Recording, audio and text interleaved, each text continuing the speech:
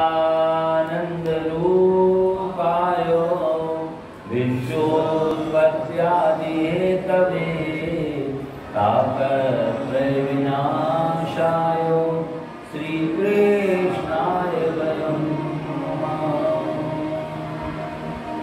जिन भगवान का सत्य स्वरूप है, जिन भगवान का चित्त स्वरूप है, जिन भगवान का आनंद स्वरूप है, और जो भगवान सच्चिदानंद रूपी और विश्वोत्पत्ति आदि हेतु इस विश्व को उत्पन्न करने वाले हैं और इसका पालन करने वाले हैं और इसका संहार करने वाले भी हैं। ऐसे विश्वोत्पत्ति आदि हेतु उत्पत्ति पालन और संहार के हेतु माने जो कारण हैं। और तापत्रय विनाशाय। तीन प्रकार के जो ताप हैं, आध्यात्मिक आदि दैविक आदि भौतिक। इन तीनों तापों का जो निवारण करने वाले विनष्ट करने वाले हैं। वो कौन है? श्री कृष्णाय वयम नुमा। ऐसे भगवान श्री कृष्ण को हम आप श्रोता, वक्ता, वयम नुमा, नमा नहीं क्या है? नुमा। तो हम श्रोता और वक्ता मिलकर के उन भगवान श्री कृष्ण को नमस्कार करते भगवान सत्य स्वरूप है। श्रीमद भागवत का जो प्रारंभ हुआ है, सत्य शब्द से हुआ है। सत्यम परम धीमहि सबसे पहले सत्य भगवान का ध्यान किया गया। अंत में भी सत्य भगवान का ध्यान किया गया है। और बीच में भी सत्य व्रतम सत्य परम सत्यम सत्य से योनिम निहितम सत्य। सत्य से सत्योमृत सत्य नेत्रम सत्यात्मकम त्वाम शरणम कन्नाम मध्य में भी सत्य भगवान का नमन किया गया है, ध्यान किया गया है। यानी भगवान जो है, सत्य स्वरूप है। और सत्य में सब कुछ समाहित हो जाता है। सर्वे सत्यम प्रतिष्ठितम। तो भगवान का सत्य स्वरूप है, जो त्रिकालाबाधित सत्य है, जो भूत भविष्य वर्तमान सभी में सत्य है। और सत्य में कभी बदलाव नहीं होता। सत्य हमेशा सत्य ही रहता है। सत्य में कभी परिवर्तन, सत्य में कभी फेरबदल नहीं होता। जो भगवान सत्य स्वरूप है और सत्य चिद और आनंद। चिद माने जो भगवान प्रकाश का स्वरूप है। जिन भगवान का कौन सा स्वरूप है? प्रकाश स्वरूप। ये जितना भी प्रकाश है, जिनसे प्रकट होता है, जो और किसी के द्वारा प्रकाशित नहीं होते, लेकिन सारे संसार को प्रकाशित करते हैं, वो कौन है? बोले जगत प्रकाश से और प्रकाशक राम। वो है भगवान श्री राम, भगवान श्री कृष्ण, भगवान श्री हरि, जो माया के स्वामी हैं और सभी गुणों के आश्रय हैं। तो जगत प्रकाश प्रकाशक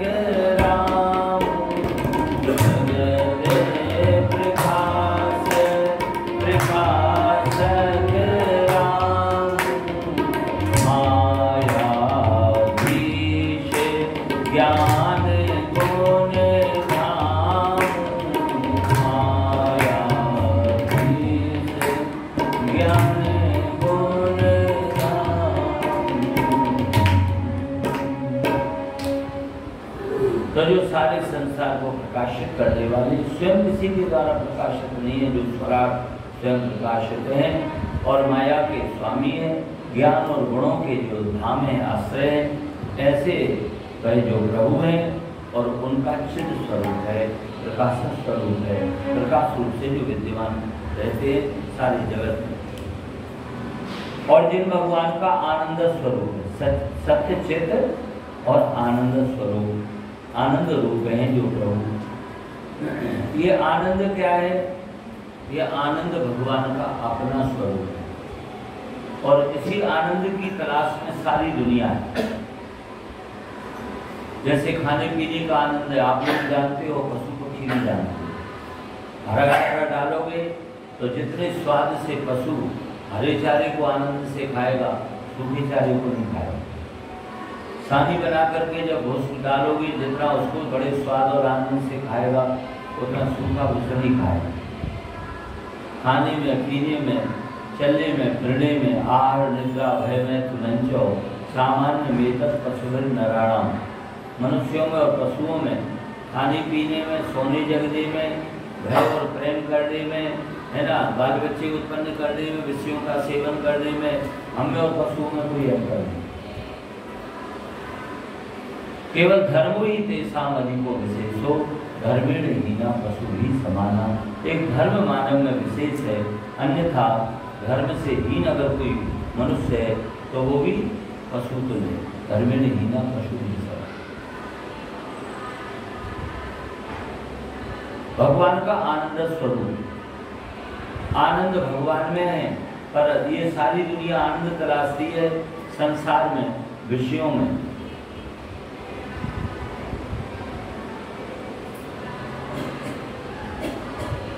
आनंद तो है संसार में भी।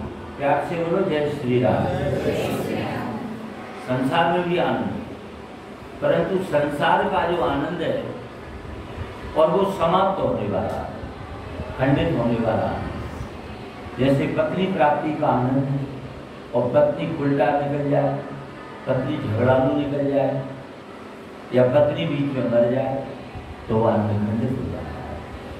पुत्र प्राप्ति का आनंद पुत्र यदि कुपुत्र निकल जाए, यदि अवज्ञा करने वाला निकल जाए, या बीच में आपको छोड़कर चला जाए तो फिर वो आनंद आपका खंडित हो धन प्राप्ति का आनंद है।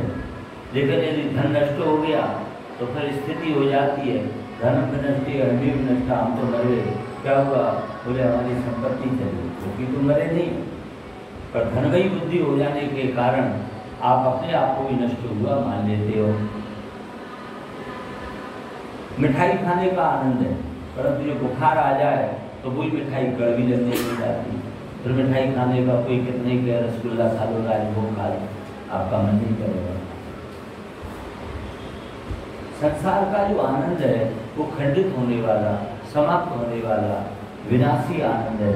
यदि आपको अखंड आनंद चाहिए, वो केवल और केवल उस परमात्मा अविनाशी में जिसका कभी विनाश नहीं होता। यदि सच्चा आनंद आपको प्राप्त करना है तो वो आनंद उस परमात्मा में तो वो परमात्मा कहाँ है? प्यार से बोलो जय श्री राधे। हाँ जिनको थोड़ा सा आलस आ रहा हो ज़्यादा ज़ोर से बोल दिया करो। बगल वाले भी एकदम चौंक जाए इतने ज़ोर से क्यों बोले? ठीक है ना? ताकि आप भी सावधान हो जाओ बगल वालों को भी करो। तुम जाना जब ये जीव जब जागा जब सब विषय विलास विरागा ठीक है ना? ये आनंद जो हम दुनिया में तलाश रहे हैं, ये हमारे भीतर है। हुआ लेकिन कस्तूरी मृग की तरह, जैसे उसके अपने अंग में कस्तूरी रहती है और उसकी खुशबू से वो सोचता है कि पता नहीं खुशबू कहाँ से आई और वो भटकता रहता है। ये नहीं समझ पाता वो खुशबू मेरी भीतर तो इस तरह से आनंद हमारे अपने अंदर है। और वह आनंद स्वरूप परमात्मा हमारे अंतःकरण में, हमारे हृदय में विराजमान है। लेकिन हम उस आनंद को भीतर नहीं तलाशते बाहर को खोजते रहते हैं। बोले, जैसे पुष्प में जो सुगंध है या गन्ने में जो मिठास है तो जैसे वो खुशबू उसके और कण कण में व्याप्त है, गन्ने के रेसे रेसे में जैसे वो मिठास व्याप्त है, और इसी तरह से वह भगवान हमारे तन, मन और जीवन में समाये हुए हैं। काश हम अपने आत्मिक चिंतन के लिए कुछ समय निकाल पाए इन सांसारिक विलास से हटकर काश हम अपने भीतर उस परमात्मा को तलाश करें। कबीरदास जी ने बड़ा सुंदर एक भाव लिखा है कि आनंद स्रोत बह रहा पर तू उदास है अचरज है जल में रह के भी मछली को प्यास। हमारे भीतर ही आनंद का स्रोत प्रवाहित हो रहा है। उसका आस्वादन ना करके बाहर आनंद तराशते हुए और जब आनंद खंडित हो जाता है तो उदास हो जाता है। इसीलिए वो कहते हैं, भाई, आश्चर्य की बात है कि पानी बिच नींद प्यासी वो सुन सुन आवे हासी। पानी बिच नींद प्यासी, यानी जल के बीच में और मछली प्यासी है। ये सुन सुन मुझे बड़ी हँसी आती है। यानी भीतर आनंद समुद्र लहरा रहा है। और हम उसकी तलाश बाहर कर रहे हैं। और जब वो बाह्य आनंद समाप्त तो हो जाता है, खंडित तो हो जाता है तो फिर हम रोने पीटने और चीखने लगता है। इसीलिए आनंद तलाशने के लिए कहीं बाहर जाने की आवश्यकता नहीं है। अपने हृदय में उस आनंद कर्ण को विराजमान है उनको तलाश हो, उनको प्राप्त कर एक भजन के माध्यम से हम आप इस भाव को दूर बनाएँगे।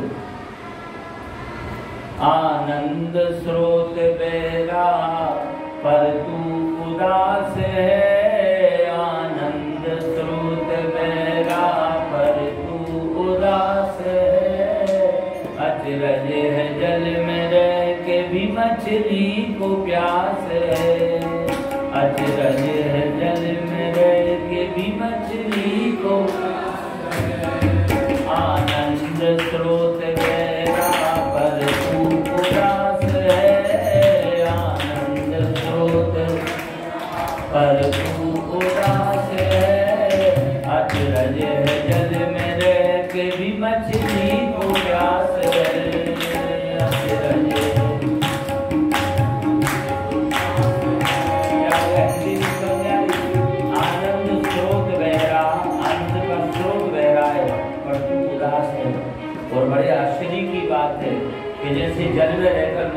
प्यासी हो। इस तरह से आनंद समुद्र में भी हम वंचित रह रहे हैं। तो आनंद स्रोत बह रहा पर तू उदास है। आनंद। स्रोत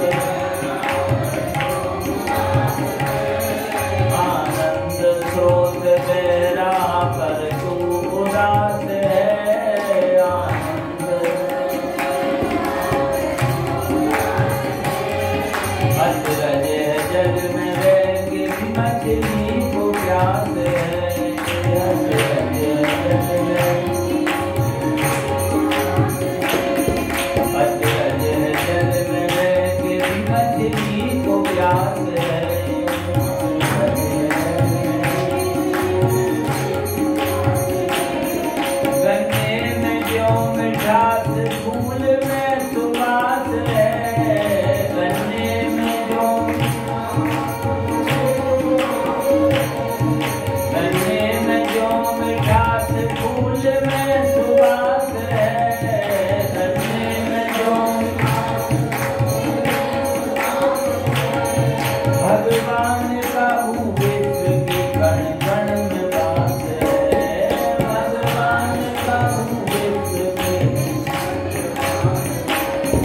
भगवान का